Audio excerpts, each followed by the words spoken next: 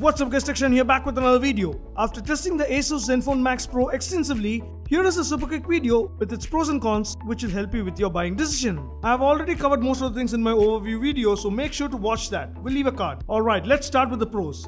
Design and build. It's solid and sleek.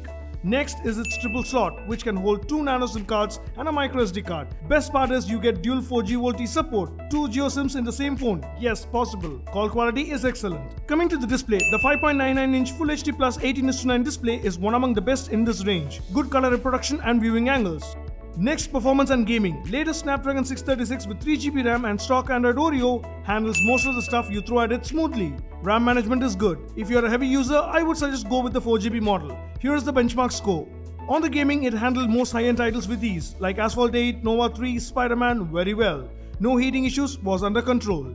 Next up, the 5000 mAh battery, which in my practical daily use, I got max 2 days. Pretty impressive. On the sensors, no compromise, except NFC. Next is the audio output via speaker and 3.5mm slot. It's loud and clear. You get an amplifier to boost the output. Watch my unboxing video to know more about this. Next, the rear camera takes nice shots with details. Have done an extensive camera comparison which you should never miss even in your dreams, make sure to check it out. We'll leave a card. Finally, the pricing. For 10,999, it's a good buy. Checks on most of the points you expect from a mid-range smartphone. Plus, the Flipkart protection plan for 49 rupees is a boon.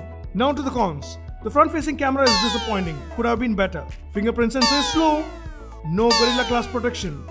Finally, lack of fast charging. Charging takes 2 hours 45 minutes, not slow though. Okay for the battery size. Now to the most asked question, should I buy this or the Redmi Note 5 Pro? If front camera is not your top priority, then the Max Pro offers better value for money and you should go with this. So that's my take on the Zenfone Max Pro. Like, share and subscribe and we'll catch up in another exciting video. Until then.